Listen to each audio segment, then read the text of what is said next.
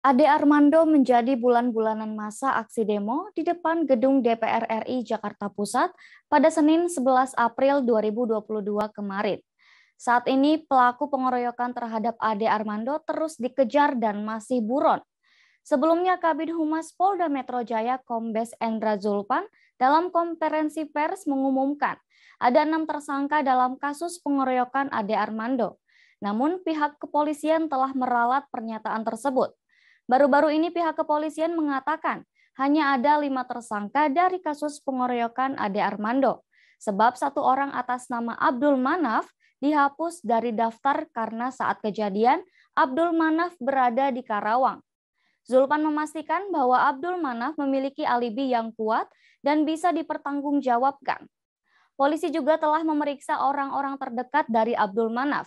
Hasilnya Abdul Manaf berada di Karawang saat Ade Armando dikeroyok di depan gedung DPR Republik Indonesia.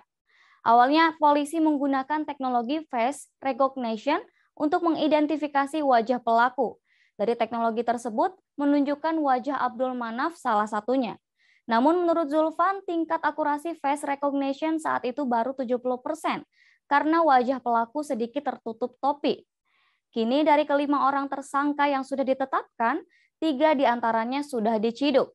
Mereka adalah Muhammad Bagja, Komarudin, dan Dia Ulhak. Muhammad Bagja ditangkap di, di kawasan Jakarta Selatan. Tersangka mengeroyok karena kesal dengan aktivitas Ade Armando di media sosial. Tersangka Komarudin, tersangka Komarudin diciduk polisi di Jonggol, Jawa Barat. Ia ikut memukul Ade Armando karena terprovokasi situasi masa di lokasi. Sedangkan tersangka Dia Ulhak diringkus di pondok pesantren di kawasan Serpong, Tangerang pada Rabu 13 April 2022 dini hari. Terima kasih sudah nonton. Jangan lupa like, subscribe, dan share ya.